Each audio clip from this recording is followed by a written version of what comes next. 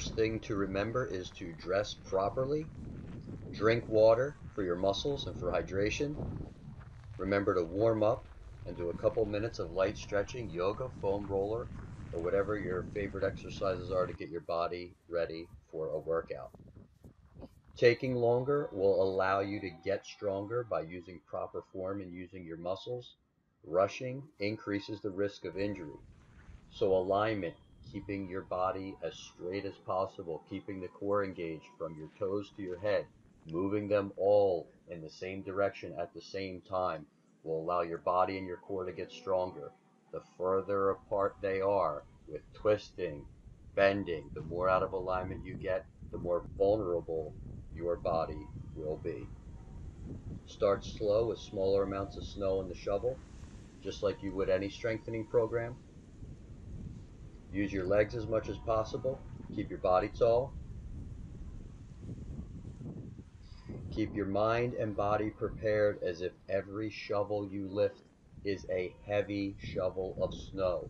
This will allow you to be prepared for anything that's on your shovel and allow you to get stronger instead of surprised as you lift the snow. Every shovel should be the same from your first one to your last. Don't take one shovel off mentally or physically because that could be the one that finds your weak spot. There are two grips, one with the palm up, one with the palm down. I suggest the palm down the palm up hurts the shoulder, the elbow works the bicep a lot harder, but the palm down allows you to work your lat muscle or your back muscle, which is a much stronger muscle and a much more appropriate muscle for shoveling snow.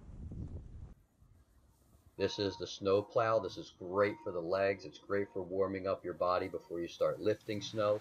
Be careful with your wrist because if the shovel hits a seam or cement or a piece of ice, the shovel can kick back into your wrist. So make sure you're holding them firmly and being careful.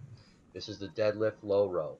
You're getting low, you're using your legs, you're keeping your core engaged as you come up, you're moving your body as one unit, you're keeping your head over your body. You don't have to see where the snow goes because where your head goes, your body will follow.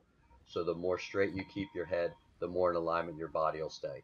You'll also notice that the arm pulling motion works the back a lot more than the arm, and it allows your whole body to be involved in the shoveling motion, which will allow you to get stronger.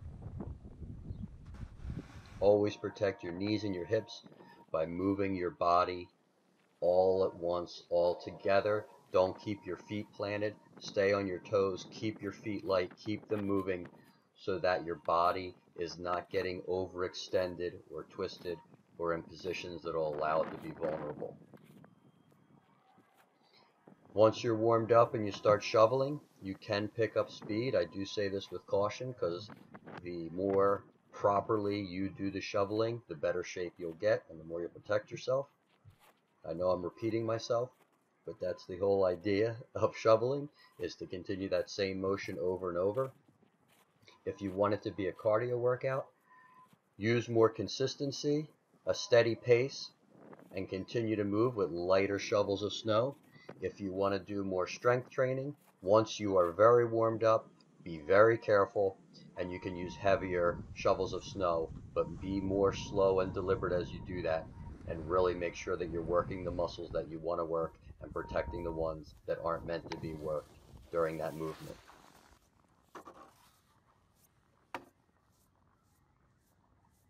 If you have any questions or comments or techniques that you found that work for you, please let me know. I'm always looking to improve my health and the way I do things, and I'm always looking to use that to help others. I have to finish with a great quote. Always remember, if you're cold, the heat is in the shovel. I got that comment from my father-in-law. That's what his uh, father used to tell him when they were working. He actually said, uh, always remember the if you're cold, the heat is in the tool. So they were working with cement. So those guys know about strong bats. Also, I'd like to let you know the description in full detail is completely written out. The exercises, how to do them, All the tips on how to keep your feet, your hands, how to work and move through the motions, how to keep your body aligned will all be in the description section of this video. Be safe, have fun, and use every opportunity you can to become healthier and stronger, and share that information with your family.